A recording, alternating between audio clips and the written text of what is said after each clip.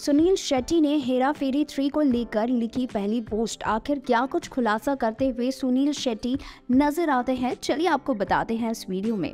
और बात करें, सुनील शेट्टी की और हेरा फेरी की, बहुत जल्द हेरा फेरी थ्री रिलीज़ होने वाली है और बॉलीवुड की सबसे ज़्यादा चर्चा में रहने वाली फ़िल्म हेरा फेरी का अब तीसरा पार्ट आने वाला है। फ़िल्म को लेकर कई सारी अपडेट सामने आई। वेल बात करें तो पहली बात चल रही थी कि अक्षय कुमार की जगह पर फ़िल्म में कार्तिक आर्यन नज़र आएँगे, लेकिन अब सब कुछ फाइनलाइज हो चुका है और ये खबरें जो है वो फर्जी निकली। अक्षय कुमार, परेश रावल और सुनील शेट्टी नज़र आने वाले हैं इस फ़िल्म के अंदर।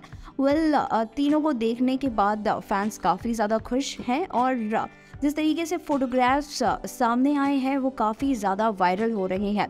पर इसके बाद में अब सुनील शेट्टी की हेरा फेरी थ्री को लेकर एक पोस्ट आ, सामने आई जो कि खूब ज़्यादा सोशल मीडिया पर वायरल हो रही है। अक्षय कुमार सुनील शेट्टी और परेश रावल की लीड रोल वाली फ़िल्म हेरा फेरी थ्री की घोषणा होने के बाद फैंस काफ़ी ज़्यादा खुश नज़र आ रहे हैं। इस फ़िल्म का ऐलान होने के बाद सुनील शेट्टी ने भी एक पोस्ट शेयर किया है। दरअसल ये पोस्ट लिंक्डइन पर सुनील शेट्टी ने शेयर किया है जहाँ पर वो इस फ़िल्म के बारे में कई सारी बातें बताते हुए नज़र आते हैं और साथ ही ये भी कहते हुए नज़र आते हैं कि वो काफ़ी बेसब्री से इंतज़ार कर रहे थे कि वो कब परेश रावल और अक्की यानी कि अक्षय कुमार के साथ इस फ़िल्म को शूट करें। फ़िलहाल फ़िलहाल तो ये जो पोस्ट है, ये काफ़ी ज़्यादा वायरल हो रहा है। क्या है आपके रिएक्शन और आप कितने ज़्यादा एक्साइटेड है?